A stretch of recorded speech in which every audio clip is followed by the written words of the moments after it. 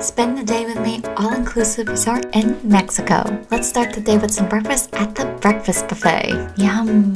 And yes, I did go back for seconds. Ah, look at this view though.